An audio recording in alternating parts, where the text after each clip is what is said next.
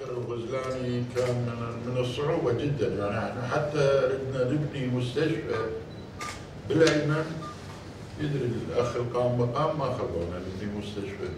يعني ننهض كمدينة يعني هذا المكان يصير مثل ال- ال- الدول. الاخ عبد القادر اليوم جمع كل الدوائر المعنية بما فيها الأخ قام مقام مدينة الموصل.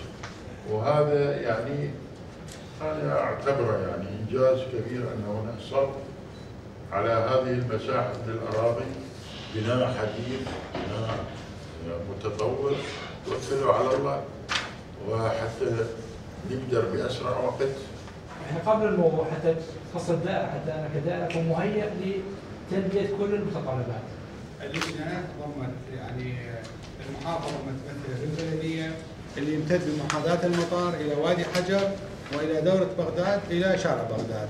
إحنا اللجنة راح نعتمد على جواب صوت الطيران المدني بال- بالنسبة لمحددات المطار اللي ذكرنا إياها 45 متر.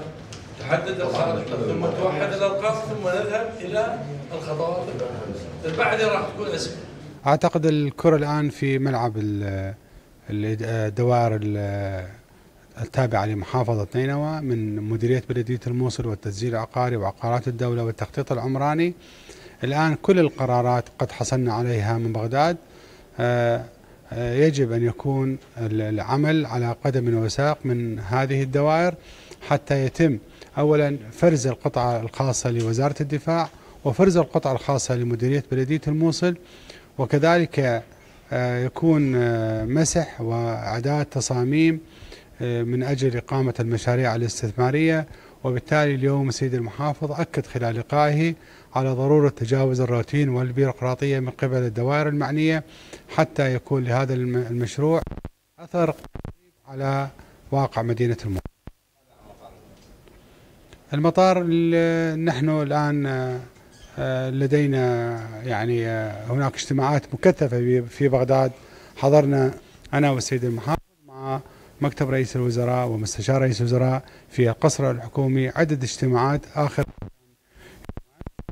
الآن اجتماعات مكثفة الطيران المدني والسفارة الفرنسية والشركات المنفذة للمطار.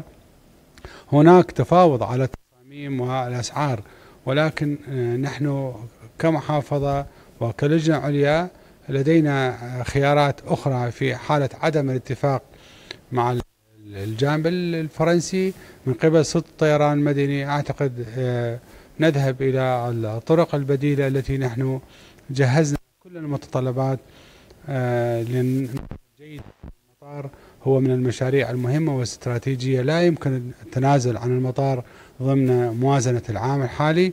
فلدينا خطط والخطة الأولى هو أن يكون آه، تمشية ال- ال- المطار عن طريق القرض الفرنسي الذي هو تم تخصيص ال- الموازنة كاملة ضمن موازنة الحكومة الاتحادية لعام 21 ولكن لا سامح الله إذا فشلت المفاوضات فكمحافظة وكلجنة علي- عليا لدينا ال- الخطط البديلة من أجل المباشرة بإنشاء المطار.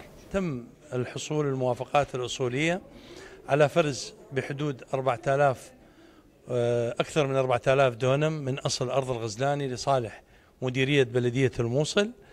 هذه الأرض اليوم آه، تم بحضور السيد المحافظ عقد اجتماع موسع مع الدوائر المعنية للبدء بوضع خارطة العقار ومن ثم توحيد أرقام القطع وتسجيلها باسم بلدية الموصل وفرز القطعة الخاصة بوزارة الدفاع.